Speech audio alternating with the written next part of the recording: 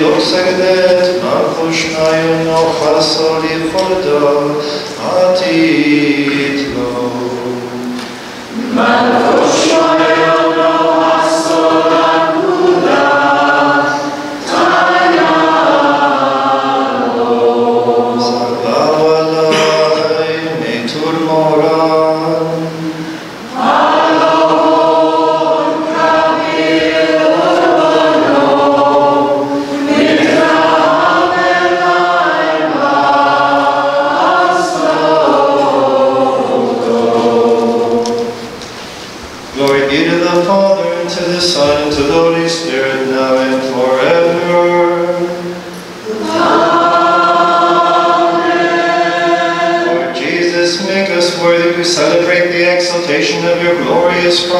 sacred hymns and songs. When you appear on the last day, the sign of your cross will shine brighter than the sun. Gather us before you and surround us with your eternal light, that we may raise glory and thanks to you, to your Father and your Holy Spirit, forever. Peace be with the church and her children.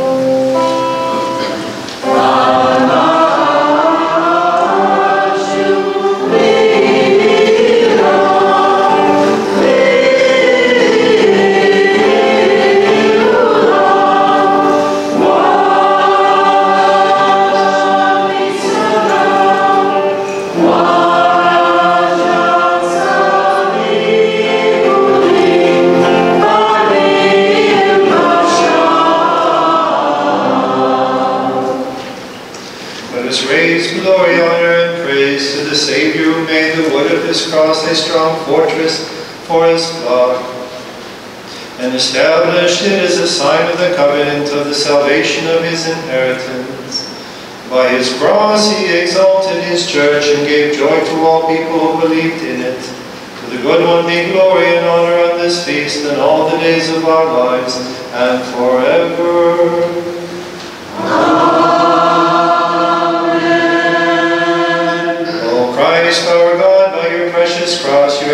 Us perfect salvation and made us worthy to celebrate this feast with hymns of praise proclaiming. Blessed are you, O wood of the holy cross, for you erased Adam's curse and restored his banished children to their inheritance. Blessed are you, O holy cross, for you united heavenly and earthly beings. Blessed are you, O holy cross, for you fulfilled the words of the prophets, enlightened the apostles by in their preaching, crown the martyrs for their faith, and honor the confessors for their loyalty. Now, O Christ, our Savior, we ask you with the fragrance of this incense to make the celebration of the feast of the exaltation of your holy cross a sign of security and peace. By your cross, exalt your holy church, guide your shepherds, adorn your priests with virtue, purify your deacons, help the elderly, educate the children, direct the young, protect orphans, care for widows, and grant rest in your dwellings of light to our brothers and sisters who have died hoping in you. May we find refuge in the shadow of your cross on the great day of your second coming, that we may raise glory and thanks to you, to your Father, and to your Holy Spirit, forever. All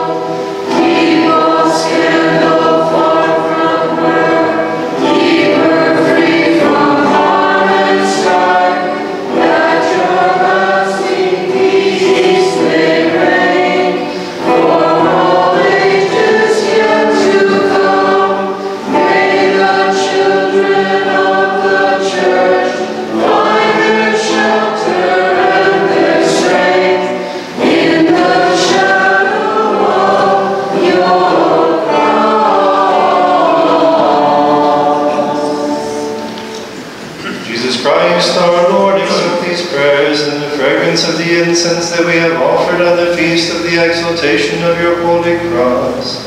May its sign always be visible before our eyes to strengthen us, that we may walk with you toward death, and then stand at your right hand to celebrate the feast of your eternal victory.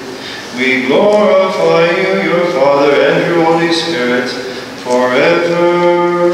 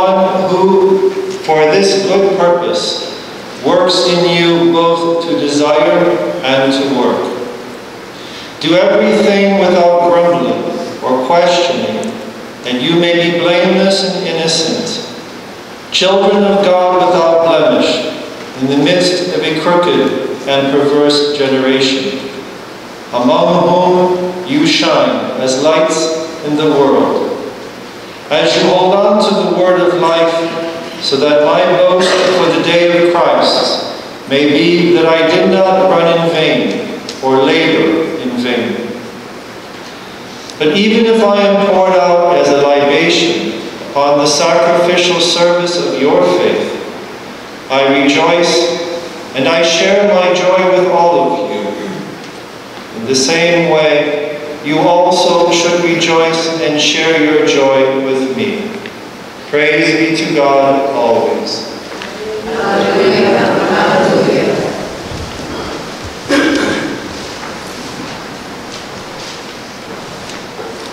message of the cross is foolishness to those who are perishing, but to us who are being saved, it is the power of God.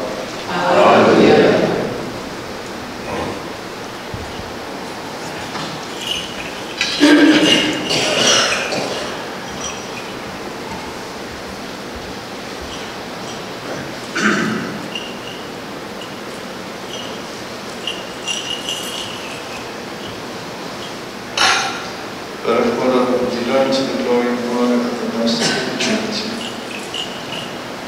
We grant this incense. Kyrie eleison.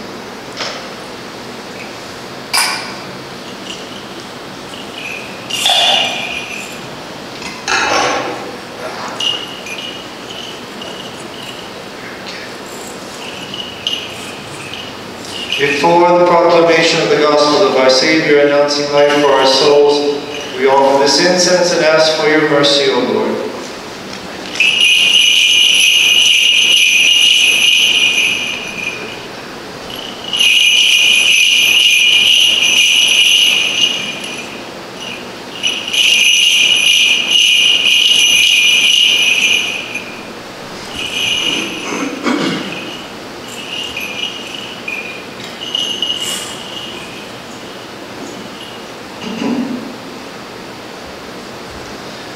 Peace be with you. From the Gospel of our Lord Jesus Christ according to St. Matthew, who proclaimed life to the world, let us listen to the proclamation of life and salvation for our souls. The Lord Jesus says, Then the kingdom of heaven will be like ten bridesmaids who took their lamps and went out to meet the bridegroom. Five of them were foolish and five were wise. The foolish ones, when taking their lamps, brought no oil with them, but the wise brought flasks of oil with their lamps. Since the bridegroom was long delayed, they all became drowsy and they fell asleep. At midnight there was a cry, Behold the bridegroom, come out to meet him. Then all those bridesmaids got up and trimmed their lamps. And the foolish one said to the wise, Give us some of your oil, for our lamps are going out. But the wise ones replied, No, for there may not be enough for both you and us. Go instead to the merchants and buy some for yourselves. When they went off to buy it, the bridegroom arrived, and those who were ready went in to the wedding feast with him. Then the doors were locked. Afterwards, the other bridesmaids came and they said, Lord, Lord, open the door for us. And he said in reply, Amen, I say to you, I do not know you. Therefore, remain vigilant, for you know neither the day nor the hour. This is the truth. Peace be with you.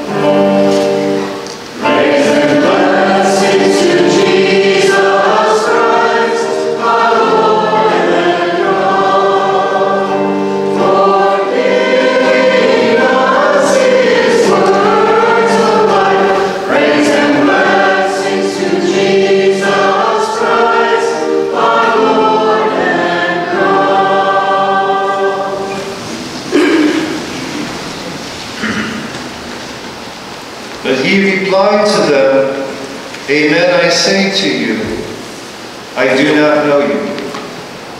Watch, therefore, for you do not know either the day or the hour. In the name of the Father, and the Son, and of the Holy Spirit, Amen. How far will a mother's love go? Can we even say that there are limits to what our mothers have done for us, would do for us, especially when we are children at home. What we see in this centennial of Fatima is precisely a mother's love, as dramatic as it is. When we have a child, we learn that learns how to ride their bike. At some point, the training wheels come off. And the parent has to let go even though we know they're going to probably spin out into the gravel of the playground. It's inevitable. So there are moments in our lives in which our parents necessarily have to allow us to kind of hit the ground. Because in order to help pick us back up, we learn, and we learn wisdom, and we make progress in life. Now, in some cases, when that's not done, then of course these individuals, these children never really grow up. And so there is always going to be this boundless love. But sometimes the love is translated in a way which may look painful, like letting go of the seat of the bicycle. We saw earlier in Fatima that in July, June, July, Our Lady gave vision to the seven-year-old, nine-year-old, and ten-year-old children, these children, gave them a vision of hell. To see the damned, the demons and the damned souls pulsating with the fire that they compare to the coals which they would see in the fireplace. Pulsating with fire, these little children. And today, in October of 1917, in fact, quite literally on Friday the 13th this year, that year in 1917, it was a Monday. This year for the centennial, it arrives on Friday. But October 13th was the day that the Mother of God told the children from July onward, July, August, September, that there will be a miracle in October so that everyone will know that I am real and what I say is true. Now in the bulletin I've reprinted the law, the request of Our Lady in July, because this miracle that happens on this day in 1917, there really is not much more of a message added to it. The request of prayer, of penance, of the daily rosary, of penance for the conversion of sinners. These requests are made months ago, and Our Lady, so to speak, allows everything to simmer over the summer knowing that this is going to build up to the month of October. In World War I, what's taking place at the same time, just before October 13th, a few weeks before, you have the Battle of Passchendaele, which is one of the most horrific moments in World War I, comparable to something like Verdun, where you have tens of thousands of men who are killed in these horrible, bloodied and muddied fields of Belgium. And that same rainstorm, that same meteorological event, is also what causes it to rain continually in Fatima. And yet, for days in advance before the 13th of October, tens of thousands of people converge upon this cove. The estimates from the eyewitnesses is that there were 70,000 people present. So picture to yourself a, a football stadium of the number of people who have arrived here from all over Portugal and beyond, who have come because there has been a promise of a miracle to be seen publicly. As I mentioned to you before about the mother's love, in the Marto family, the brother and sister, Francisco and Jacinta, their parents believed that they saw something. They didn't make an act of faith in all the details, but they knew that their children were not liars. On the other hand, with Lucia, her parents never believed this. In fact, her mother, like I mentioned to you before, she had a difficult home life. Her father was basically what we call an alcoholic now, and he gambled. The family was always on the verge of losing uh, not only their lands, but the food simply. During the whole Fatima events over the summertime, July and August, September, parts of the land where Fatima, where the apparitions were taking place, belonged to her family. And so the crops they had planted were all trodden down. And the family that summer actually came close to starvation because they didn't have the means to feed themselves. And in the midst of all that, Maria Rosa, the mother of Lucia never believed her daughter. In fact, she hammered upon the 10-year-old continually, you have got to stop making this up. You have got to stop telling stories. And Lucia keeps repeating that they are not stories, they are things which I have been told. And so when October comes, Mr. Marto takes his children to be there in the midst of this enormous crowd. And Maria Rosa goes along with her daughter, having up to the last minute told her, you have to renounce this. because she doesn't believe anything is going to happen in October, and she is terrified that a crowd which is there expecting something and having nothing happen will turn into a mob and will descend upon her daughter and do God knows what kind of damage to her. And so they all arrive and it's raining and they're on umbrellas. You have pictures of the day. Photographers were there. Newspapers reported this event. As Masonic and as anti-Catholic as the government was at the time. And of course, what's taking place simultaneously at this moment is two days before this, October 13th. Two days before this, Lenin in the north makes his decision that now is the time for the Bolshevik Revolution. It's going to happen on November 6th. The entire history of the world that we live now is rooted in all of the events that are taking place in World War I and before, but it's really very clearly in World War I. And so when they all arrive and it's raining, it comes to about midday when the apparitions happen. And what takes place here in the rain is nothing happens. And there is a great fear. In fact, some of the priests who are there, one of the priests who's near Lucia, just simply says this is all a lie and starts to try to push the children to believe. The children don't move. As we mentioned, what is the extent of a mother's love? It has both its punishment aspect, its clarity, and of course its nurturing charm and staying at the side of the sick bed. In the gospel of today, we have the problem of these bridesmaids is they all do the same thing, except that some of them don't provide for the future. They lack prudence. They lack wisdom. They're certainly all dressed for the wedding. They certainly all become tired, and they all fall asleep. What distinguishes them between wise and foolish is that the foolish have not looked towards the future. So what takes place in Fatima on October 13, 1917 is certainly for the people who are there. But it is more importantly for the generations to come in the future. As I mentioned to you, I believe that at this centennial in 2017, we are only halfway through the message of what Fatima is really telling us. The same way with the apparitions of the Sacred Heart in the 17th century. Friends, those apparitions don't come into full blossom, as it were, until the 19th century. About six or seven generations to work through this. At noon, as it's raining, Lucia all of a sudden tells everyone, put down your umbrellas. And as the word goes out, the umbrellas all start closing down, but it's still raining. It's kind of nuts. And then, as Lucia is kneeling there, everyone's been saying the rosary, she sees the flash from the east. And she tells Lucia, she tells Jacinta and Francisco, Our Lady is coming. And as it has happened in all of them, coming from the east, this light, the children see this light arrive, and in this overwhelming light, they see the form of the Mother of God.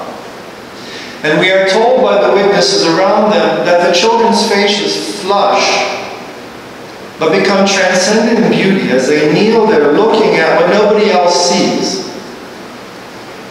And the first question that Lucia says to her is, What do you wish from me? This is the foundation of the entire spiritual life. What does God want from me? What does he intend me to do in my life, personally? Not the theory in the catechism book, but of me individually and how I will live that life of grace. And when Our Lady answers Lucia, she says to her, have them build a chapel here in my honor. And let them continue to say the rosary every day. That's the only request which has been stated every single month. Take 15 minutes, 20 minutes a day, and say the rosary. Then she tells them the war is going to end. Of course, we're coming towards the end of 1917. And the soldiers will return home soon. She then says, I am the Lady of the Rosary. At that point, Lucia says there are many people here who are sick or who are praying for people back home. Will they be healed? And Our Lady says to Lucia, some of them will be, and others no. But all must ask pardon for their sins. And sinners must cease to offend the Lord our God, for he is already very much offended. And at that point, she opens her hands, and this light, the children say, the light passes from her hands up to the zenith, to the highest point, in the midst of this cloudy, rainy sky of a gray day. And when the children look up, Lucia tells, she, she says, look at the sun. And the people, of course, only the ones around her first hear this, and it has to all reverberate out. And as they all start looking up, the clouds begin to part, and what the people see is the sun, but the sun in a form that they've never seen it before. It's kind of a silvery blue, but you can look at it. You're not blinded by it. But there are now two things which take place in this apparition. One which is seen by the children and the other which is seen by the public. For the children, what the children see first and foremost is a tableau of the Holy Family. They see Our Lady in the classic look with the blue robe, and they see St. Joseph holding the Christ child. In September, they were told that St. Joseph would come to bless the world. And what the children then see is St. Joseph making the sign of the cross three times over the crowds. And the Christ child does likewise. Then Lucia continues to see what eventually becomes the mysteries of the Rosary, the joyous, the sorrowful, and the glorious.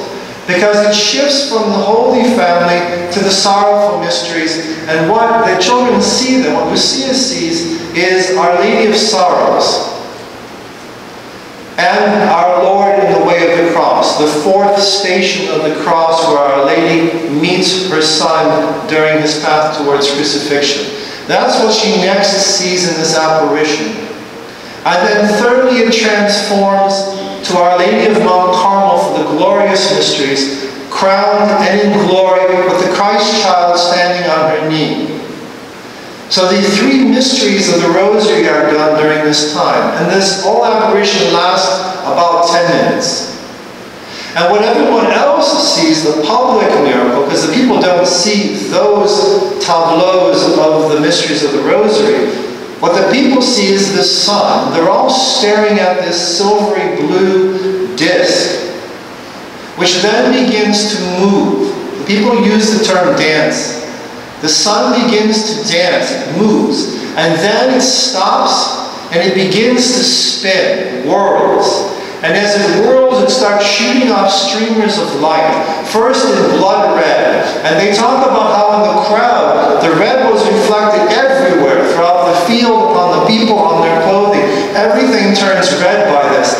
this thing begins to start spinning. And then the color changes to orange, and to blue, and to green. It changes to the different colors, ultimately of the spectrum, as the people are all watching this in amazement and it does this three times, and it stops and it spins and it throws off these streamers of light.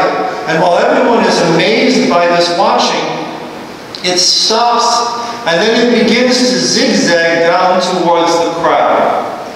At that point, everyone is in terror. This is the end of the world. They start running. You start having screaming. People are falling into the mud, sobbing. They're asking for mercy. And as it comes down, it stops again.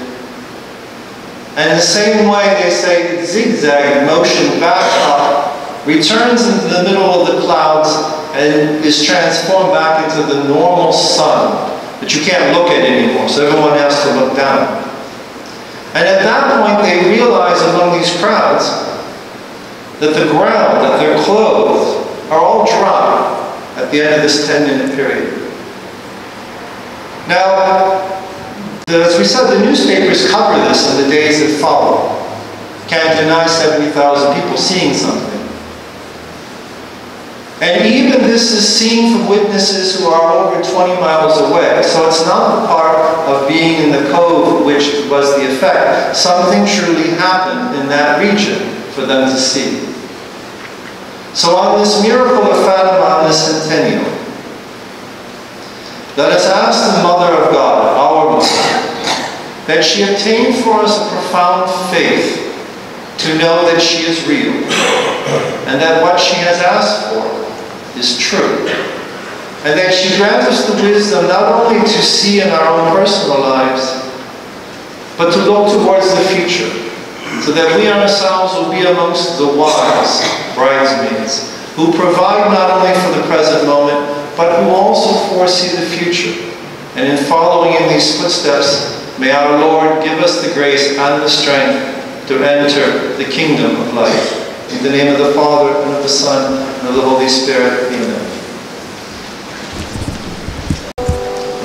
We believe in one God, Father Almighty, maker of heaven and earth, of all things visible and invisible. We believe in one Lord Jesus Christ, the only begotten Son of God, born of the Father before all ages, God from God, light from light, true God from true God, begotten, not made, consubstantial with the Father. Through him all things were made. For us men and for our salvation, he came down from heaven, and by the Holy Spirit, was incarnate of the Virgin Mary, and became a man. For our sake, he was crucified and was crucified. He suffered death and was buried. He rose again on the third day, according to the Scriptures. He ascended into heaven, and is seated at the right hand of God. He will come again in glory to judge the living and the dead, and his kingdom will have no end. We believe in the Holy Spirit, the Lord, giver of life, who proceeds from the Father and the Son, who with the Father and the Son is Lord and glorified, who has spoken through the prophets. We believe in one holy Catholic and Apostolic Church. We confess our baptism for the forgiveness of sins, and we look forward to the resurrection of the dead and the life of the world to come. Itelvot mandepedalum, valvot alohonam chaletariot, veinem subot aimuto cheunan baitoch veskudem chayepro, ot kodesho.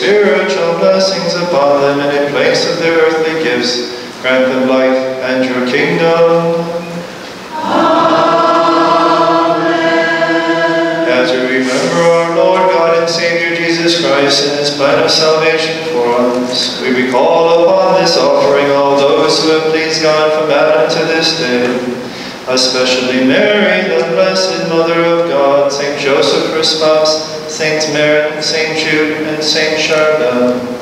Remember, O God, the children of the Holy Church, our fathers and mothers and our brothers and sisters, both the living and the departed, especially those for whom the sacrifice is offered, for the repose of Robert Sturdivant.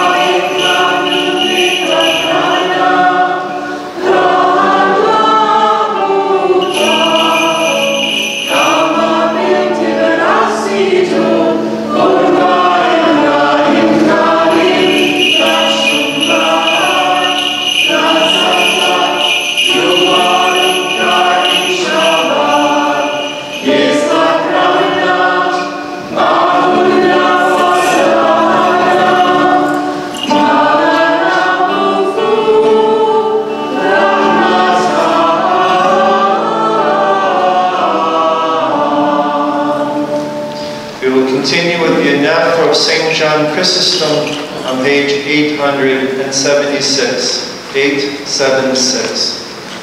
Glory be to the Father, and to the Son, and to the Holy Spirit, now and forever.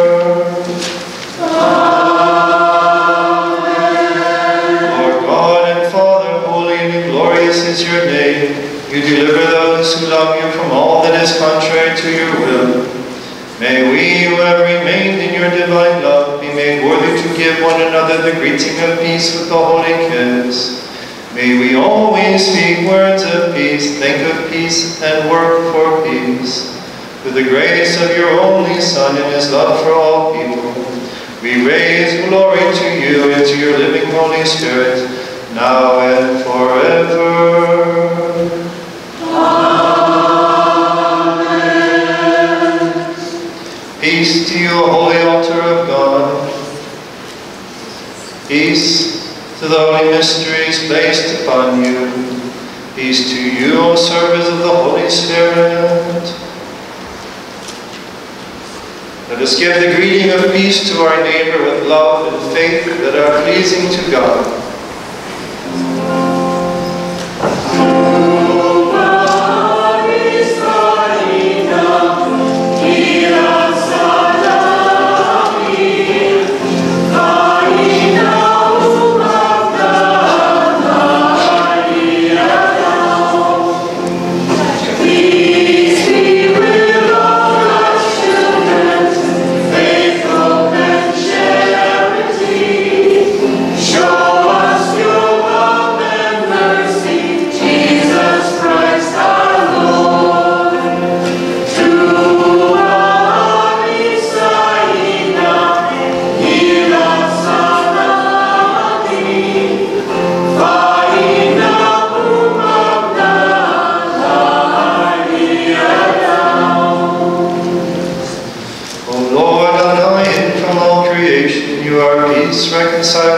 Those who are enemies.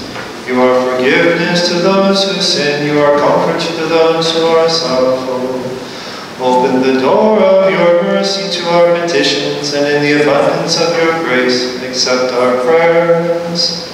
Make us children and heirs of your kingdom, through the grace of your only Son and his love for all people, and through your Holy Spirit, now and forever.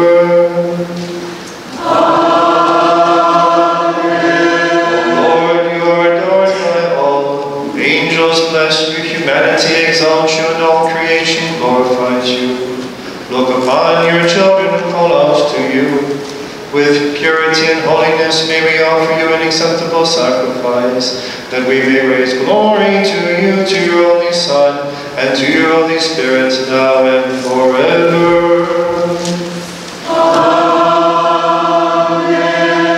Love of God the Father, and the grace of the only begotten Son, and the communion and dwelling of the Holy Spirit, be with you, my brothers and sisters, forever.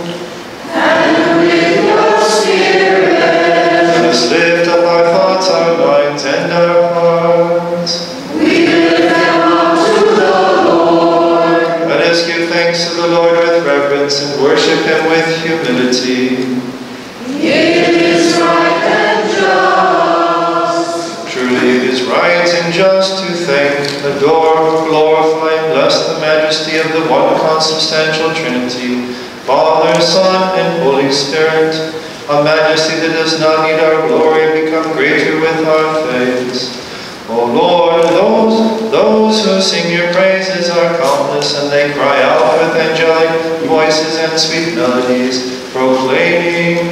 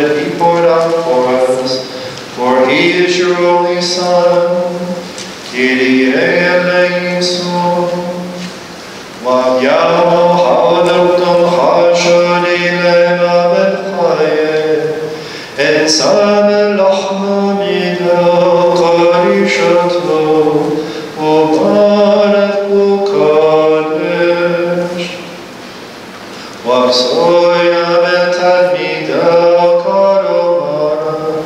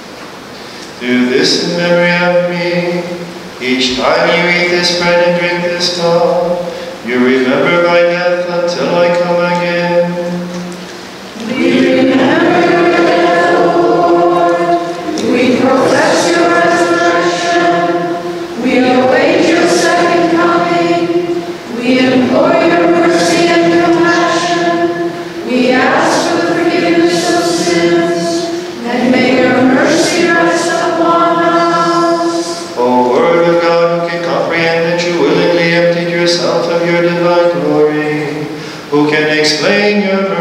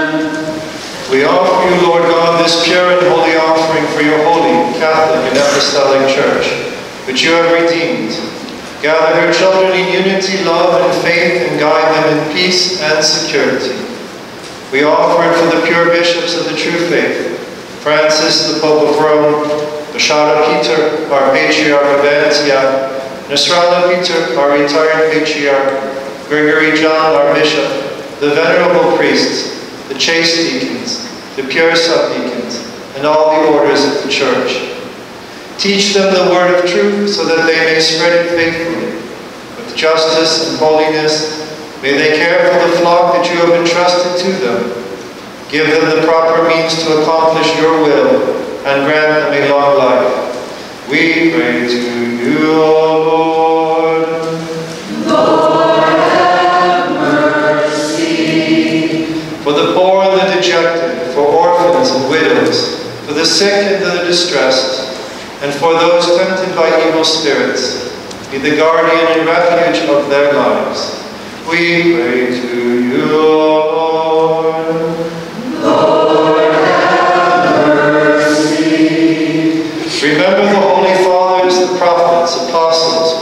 preachers, evangelists, martyrs, and confessors, especially the holy, glorious, and blessed ever Virgin Mary, Mother of God. St. John the Baptist, the messenger and forerunner, who witnessed the betrothal of your holy church to your Son. Glorious Saint Stephen, the archdeacon and first martyr, and all who pleased you and professed your holy name. We pray to you. Lord,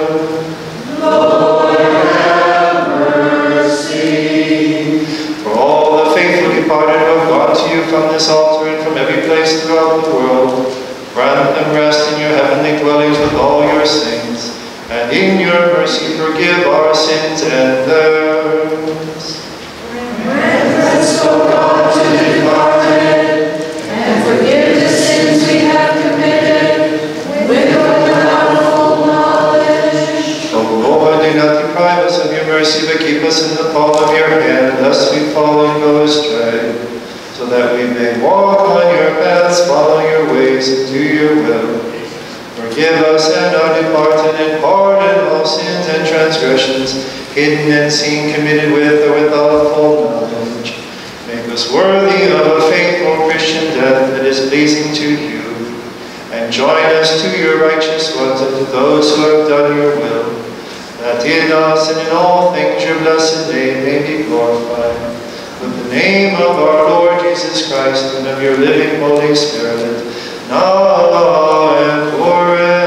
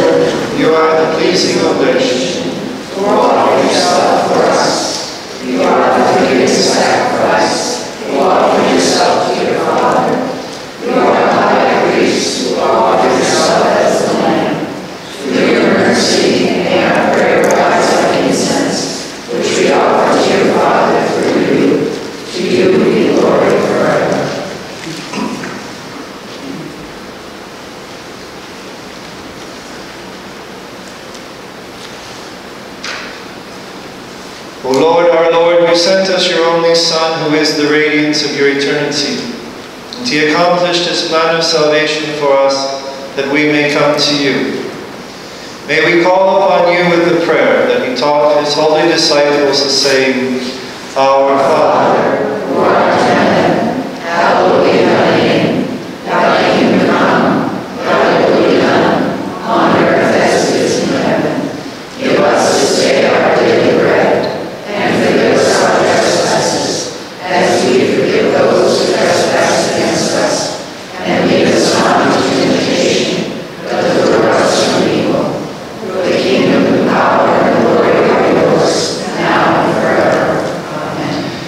Yes, O merciful Lord, we ask for your compassion. By your grace, make us worthy that your glorious name may be made holy in us. That your kingdom come to assist us in our weakness, and that your will dwell within us. Deliver us from all difficult temptations.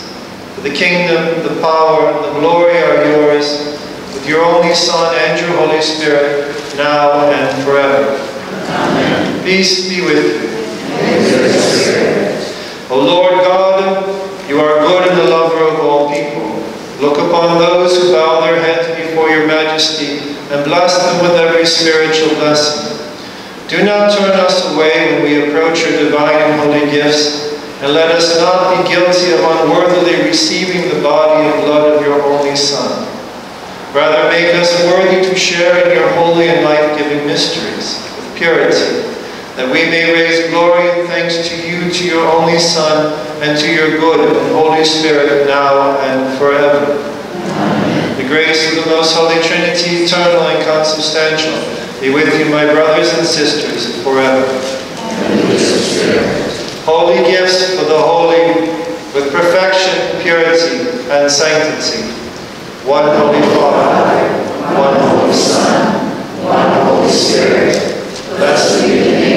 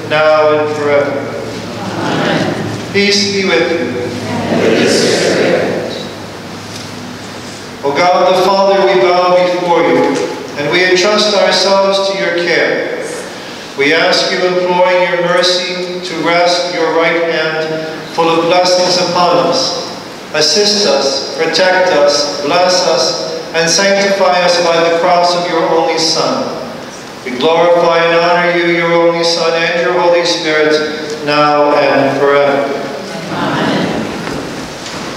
So as a last announcement, there is a box at the front of the church here that has envelopes and the raffle tickets at the beginning of the bazaar, so our annual fundraiser. So if you would please, before you leave, just check for the letter that's addressed to you. It will make FIFA have to put less stamps on tomorrow or on Tuesday for mailing them out. We appreciate your cooperation. And may this be a very successful bazaar this year. Go in peace, my beloved brothers and sisters, with the nourishment and blessings you have received from the forgiving altar of the Lord. May the blessing of the Most Holy Trinity accompany you, the Father, and the Son, and the Holy Spirit, the one God, to whom be glory forever.